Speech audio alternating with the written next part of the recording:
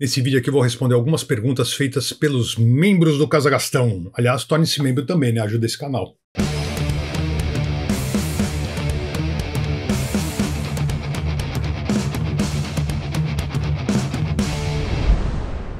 É isso aí, vamos responder algumas perguntas então feitas pelos membros do Casagastão, sempre perguntas muito legais. Eu li assim, ampassant por cima para não ficar já com umas respostas prontas, quero ser o mais espontâneo possível.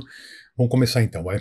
Primeira pergunta, Moacir Loureiro Neto, Gastão até agora, quais discos lançados em 2022 você mais gostou? Tem algumas coisas bem boas, né? Eu gostei do novo do Tears for Fears, é um, o novo do Wills, que chama Extreme Witchcraft, também é outro álbum muito interessante. Tem um tributo com a Betty Hart, né, a cantora que eu adoro, ela fez agora pro Led Zeppelin, muito bacana. Tem o novo do Voivode, ah, o novo do Spoon também. Lucifer on the Sofa é um disco muito bom. Pedro Prando, primeiro gostaria de agradecer por tudo que você fez pela boa música. Muito obrigado, meu querido. Qual é o seu guitarrista preferido hoje em dia? Não vou nem pensar, cara. Guthrie Govan. Guthrie Govan, inglês, gente boa, toca muito, toca todos os estilos. E eu vi esse cara a primeira vez ao lado do Steven Wilson nos shows que ele fez aqui no Brasil. Acho que foi tipo 2012. Tremendo guitarrista, tem um monte de vídeo dele. Vai ver, gente boa e toca muito, muito. Felipe Campos. Gastão, gostaria de sua opinião sobre o novo do Voivode. Fiquei muito fã da banda graças à sua recomendação. Que legal, cara. Tem entrevista muito boa aqui também, né? Com o batera da banda. Dissonante, é difícil acesso, né? É uma coisa muito acessível. Chama Synchro Anarchy, né? Sem concessões, pesado, como eu te falei, torto. Torto! Mas a gente gosta disso. Eduardo Machado, gostaria de saber se você curte black metal e sim, qual sua banda favorita do estilo? Eu gosto, cara. Eu gosto de black metal. Se for falar black metal norueguês, por exemplo, eu gosto muito do Immortal. Acho uma banda competente. O Emperor, Satyricon, né? Tem algumas bandas bacanas por ali. Coyote Léo. Gação, que você acha das bandas de rock cristãs, como Resgate, Palavra Antiga, Oficina G3?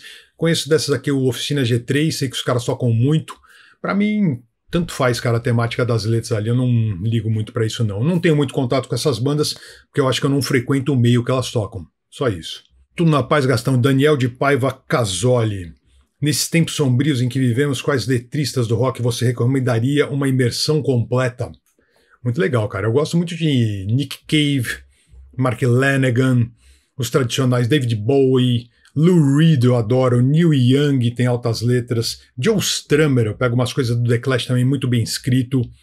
Tem muita gente bacana, Cazuza brasileiro, Chico Buarque, Tom Jobim, né, grandes letristas também, tem muita gente boa por aí. Gustavo Faber, o que você acha do Eagle Kill Talent? Você acha que tem espaço para eles no mercado gringo? Banda competente, só na bateria ali o Jando Labella já garante muito, né? O último disco deles é o, acho, mais bem resolvido. Se tem chance no mercado gringo, acho que qualquer banda tem, mas é um longo caminho, né? Rodrigo Helfstein, Helfstein. Parabéns pelo belíssimo trabalho, muito obrigado, meu amigo. Gastão, gostaria que você indicasse alguns livros que você considera importante para entender a história do rock, fora as biografias. Valeu e sucesso. Cara, coincidentemente eu estou lendo um dos principais aqui, ó. Melody Maker, a história da música do século XX.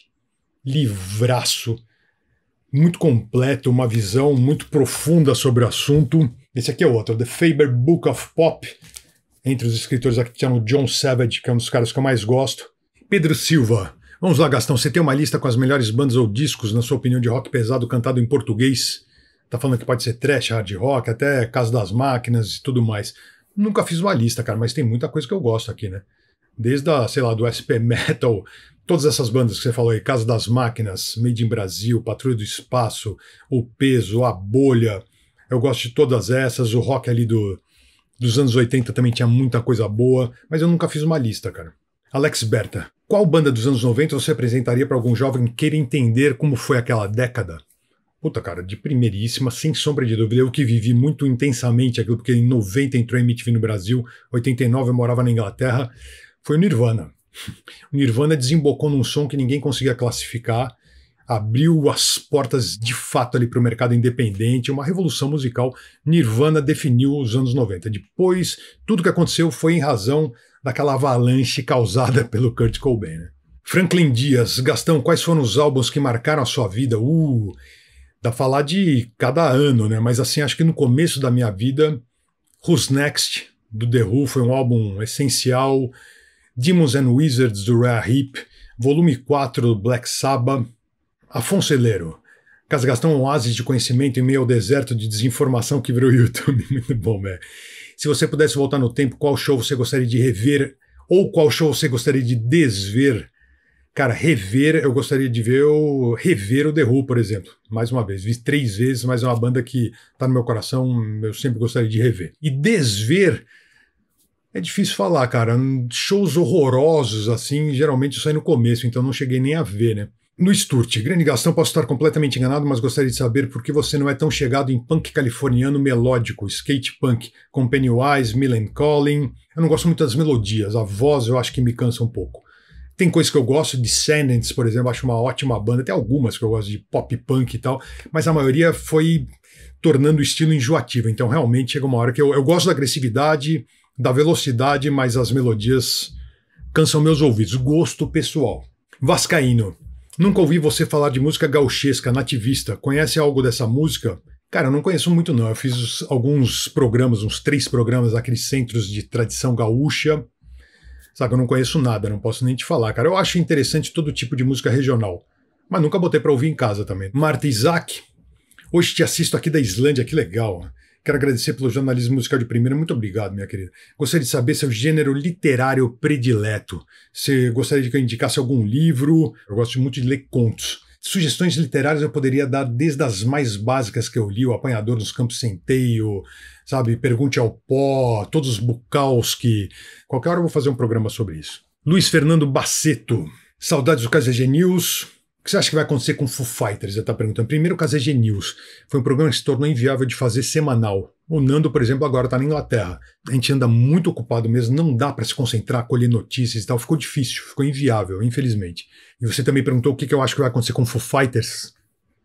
Difícil dizer, cara. O Taylor era uma figura-chave ali. Não sei o que vai acontecer com o Dave Grohl. Acho mais importante perguntar o que vai acontecer com ele, né? Se ele vai ter ainda aquela vontade de ter banda, de tocar. Tomara que sim, né?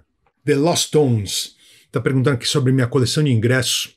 Com a internet hoje em dia é muito usual a gente imprimir os ingressos para apresentar na entrada e na maioria das vezes a gente fica sem um pedaço de papel.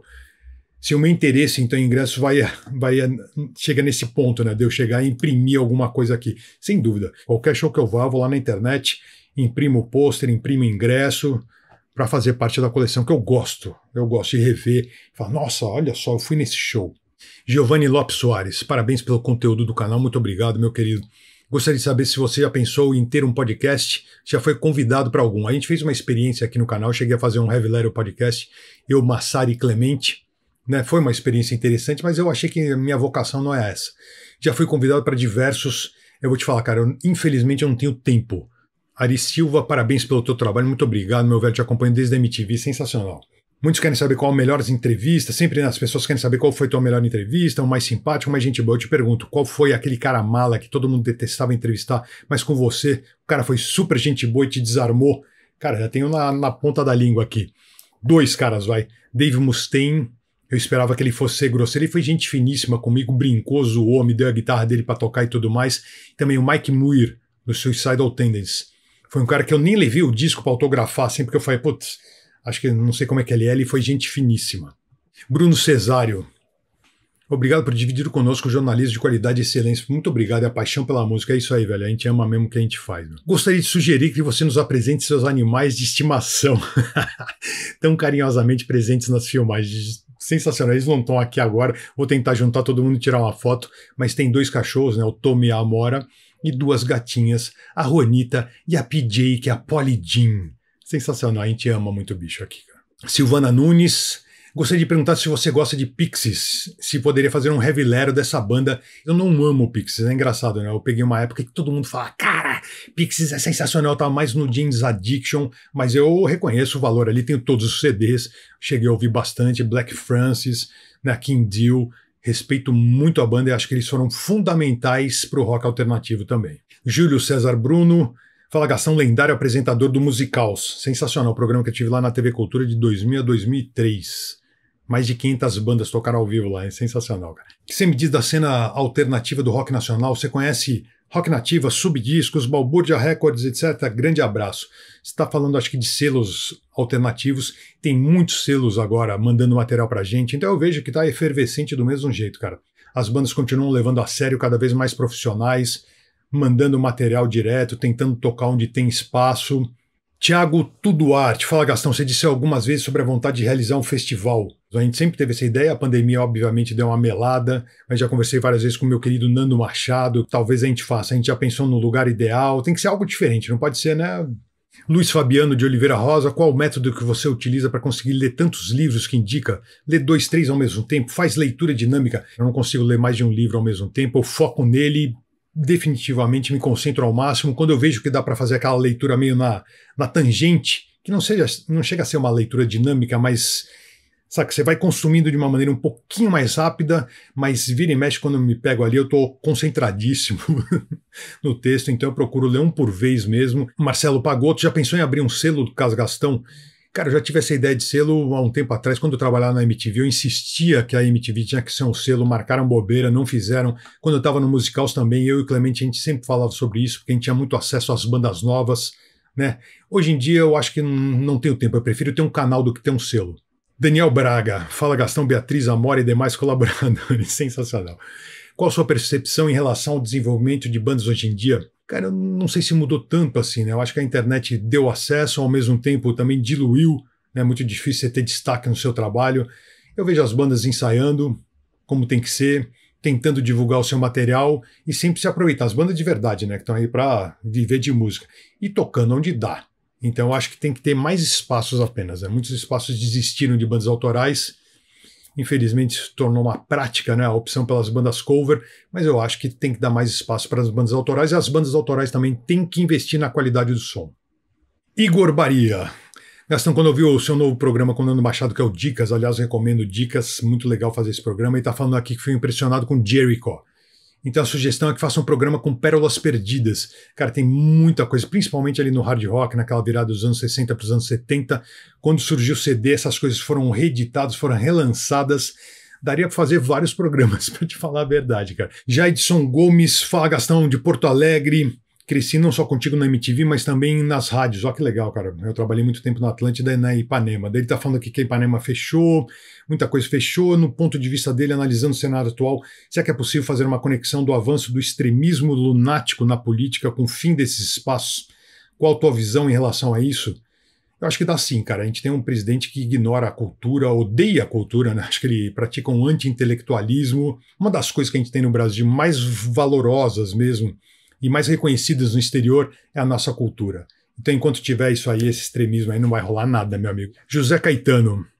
Se fosse realizar um festival de três dias, em qual cidade do Brasil você realizaria? Quais bandas nacionais e internacionais traria? Pô, velho. Eu faria em São Paulo, né? Pelo fato de eu morar aqui e ter mais acesso aos lugares, já saber mais ou menos onde fazer um, um festival. Tem várias bandas que eu traria, tipo Debadios, poderia trazer o Bugarins, o Labirinto, bandas nacionais, bandas gringas. Adoraria trazer, por exemplo, o Opet, o Porcupine Tree, Marcelo Nacal, salve Gastão, gente boa. Tá falando aqui da vasta coleção de camisetas. Se você fosse doar suas peças e ficar com apenas três, quais seriam as escolhidas? Sei lá, eu sou desapegado, então as pessoas falam, ah, que camiseta legal, acabava dando, principalmente dos shows que eu fui na Inglaterra. 89 e 90, eu não guardei nenhuma. Ai, me dói o coração. Hoje em dia eu não sei, eu acho que eu tenho algumas camisetas que eu gosto muito, eu tenho uma do Frank Zappa, por exemplo, que eu guardaria certamente. Tem uma ali do, sei lá, Birthday Party, a primeira banda ali do Nick Cave, que eu também guardaria, que é uma camiseta muito especial. A terceira eu teria que pensar, acho que é uma do Lucifer's Friend, com a capa do primeiro disco. Michele de Sena. Obrigado por nos proporcionar conteúdo de altíssima qualidade no canal. Muito obrigado, minha querida. Goste mais do nosso rock nacional. Mês passado teve festival no Canal Brasil com as bandas dos anos 80. Ela está falando aqui, ó, você teria dicas de novas bandas que estejam fazendo tradicional rock brazuca? Acho que tem muita coisa boa. A gente fez vários recomenda, a Casa G recomenda com bandas novas brasileiras. Olha lá, Natália Alva. Se você tivesse um afilhado de 10 anos de idade, como ela tem, que ama trash, mas não conhece nada ainda, curte dar aquela bangueada, qual vinil você recomendaria que eu dê de presente? Beijos, família.